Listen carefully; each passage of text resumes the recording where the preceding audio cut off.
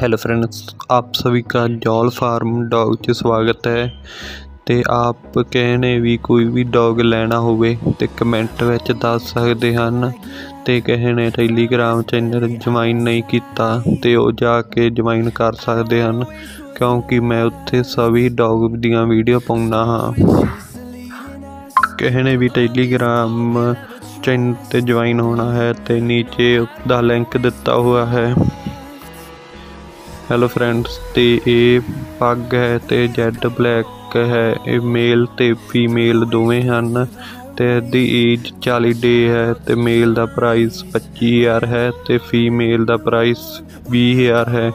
ਜੇ ਕਿਸੇ ਨੇ ਵੀ ਕੋਈ ਵੀ ਡੌਗ ਲੈਣਾ ਹੋਵੇ ਤੇ ਕਮੈਂਟ ਵਿੱਚ ਦੱਸ ਸਕਦੇ ਹਨ।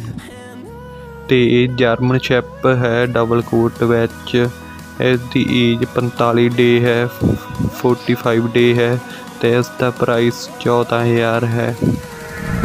ਅਤੇ ਇਹ ਲੈਬਰੇ ਹੈ ਅਤੇ ਮੇਲ ਅਤੇ ਫੀਮੇਲ ਦੋਵੇਂ ਹਨ। ਇਸ ਦੀ ਏਜ 45 ਡੇ ਹੈ ਅਤੇ ਮੇਲ ਦਾ ਪ੍ਰਾਈਸ 14000 ਹੈ ਅਤੇ ਫੀਮੇਲ ਦਾ ਪ੍ਰਾਈਸ 8500 ਹੈ। ਤੇ ਇਹ ਵੀ ਲੈਬਰੇ ਹੈ, ਇਹ ਮੇਲ ਹੈ, ਇਸ ਦਾ ਪ੍ਰਾਈਸ 11000 ਹੈ।